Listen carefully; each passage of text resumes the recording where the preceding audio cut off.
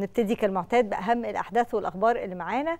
سيادة الرئيس عبد الفتاح السيسي أجرى اتصال هاتفي بالأمس مع السلطان هيثم بن طارق سلطان عمان وقدم خالص التعازي في ضحايا حادث إطلاق النار بمنطقة الوادي الكبير بمسقط.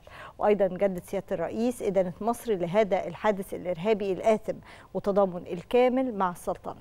كمان امبارح الدكتور مصطفى مدبولي رئيس الوزراء وصل إلى أكرا عاصمة غانا للمشاركة نيابة عن سيادة الرئيس عبد الفتاح السيسي رئيس الجمهورية في فعاليات الدورة السادسة لاجتماع منتصف العام التنسيقي للاتحاد الإفريقي.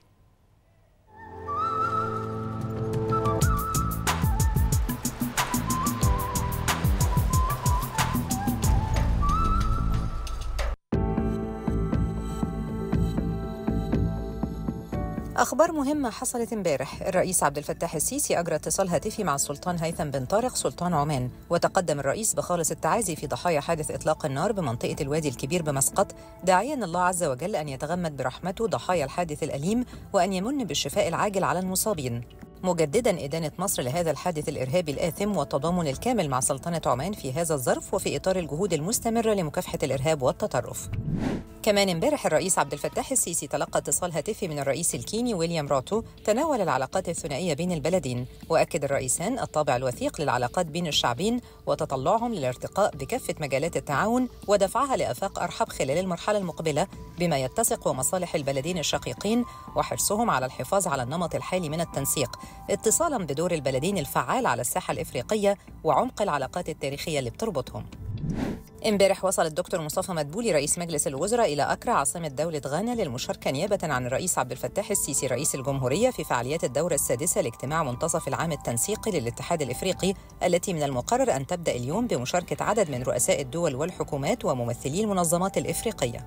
ومن المقرر أن يلقي الدكتور مصطفى مدبولي كلمة ضمن فعاليات الدورة السادسة لاجتماع منتصف العام التنسيقي للاتحاد الإفريقي وأن يعقد على هامش زيارته لغانا عدد من اللقاءات الثنائية مع بعض المسؤولين في سبيل مناقشة جهود تحقيق التكامل الاقتصادي وتعزيز التنمية بين بلدان القارة الإفريقية.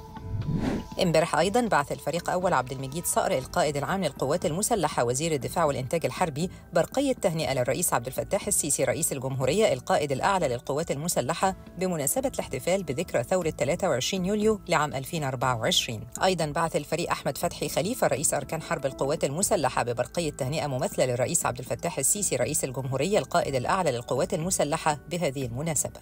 كان الفريق أول عبد المجيد صقر القائد العام للقوات المسلحة وزير الدفاع والإنتاج الحربي أصدر توجيها لتهنئة القادة والضباط وضباط الصف والصناع العسكريين والجنود والعاملين المدنيين بالقوات المسلحة وأفراد القوات المسلحة المشاركين بقوات حفظ السلام بهذه المناسبة. أيضا أصدر الفريق أحمد فتحي خليفة رئيس أركان حرب القوات المسلحة توجيها لتهنئة القادة والضباط وضباط الصف والصناع العسكريين والجنود والعاملين المدنيين بالقوات المسلحة وأفراد القوات المسلحة المشاركين بقوات حفظ السلام بهذه المناسبة.